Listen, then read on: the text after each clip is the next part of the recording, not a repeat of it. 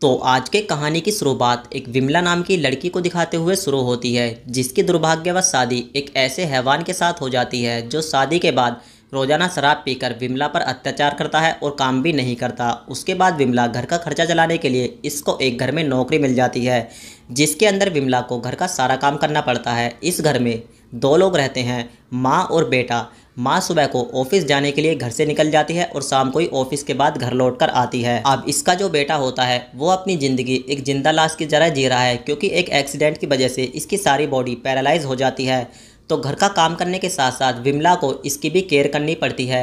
नहलाने से इसको खाना खिलाने तक सब कुछ इसको करना पड़ता है। अब विमला को महीने में जो भी पगार मिलती है, इसका नशेड़ी पति इसकी सारी पगार छीनकर उनकी भी शराब पी जाता है और उसके बाद विमला एक कोने में बैठकर रोने लगती है और अपनी ज़िंदगी को कोसने लगती है। अब विमला को पता होता है कि मोहन बाबू जल्द से जल्द ठीक कैसे होंगे तो उसके लिए ये इस लावारिस लाश के साथ वो सब कुछ करती है जो एक औरत अपने पति के साथ करती है और धीरे धीरे इस लाश के अंदर करंट बनने लगता है। अब एक दिन विमला की मकान मालिकिन का भतीजा कुछ दिनों के लिए घर पर आता है और इसको पता चल जाता है कि कैसे नौकरानी इस मरीज़ की दवा बनती है और ये चोरी से इनका वीडियो बना लेता है और विमला को ब्लैकमेल करना लगता है।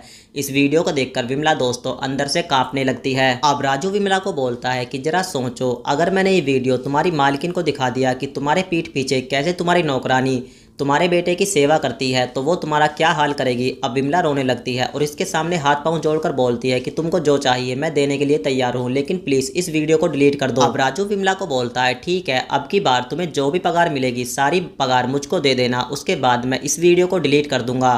तो ये अपनी इज़्ज़त और जान बचाने के लिए राजू की बात मान लेती है और जो भी इसको सैलरी मिलती है, सारी सैलरी इसके हाथ में दे देती है। लेकिन इस भोली भाली नौकरानी को ये पता नहीं होता कि राजू ने इसके साथ धोखा किया है, क्योंकि जैसे ये पैसे इसके हाथ में देता है तो राजू इन पैसे से ड्रग्स का नशा करता है और इसके साथ ज़बरदस्ती करने लगता है। उसके बाद विमला अपने आप को बचाने की कोशिश करती है और चीखती चिल्लाती है और इधर हम देखते हैं कि आज इस लावारिस लाश के अंदर अचानक से बाहुबली की आत्मा समा जाती हैं और वो राजू को इतना मारता पीटता है कि वो अधमरा हो जाता है और उसके बाद ये दोनों एक दूसरे के साथ शादी कर लेते हैं और इसी के साथ कहानी जो होती है वो यहीं पर समाप्त हो जाती है। आपको कहानी कैसी लगी? कमेंट सेक्शन में लिखकर ज़रूर बताएँ।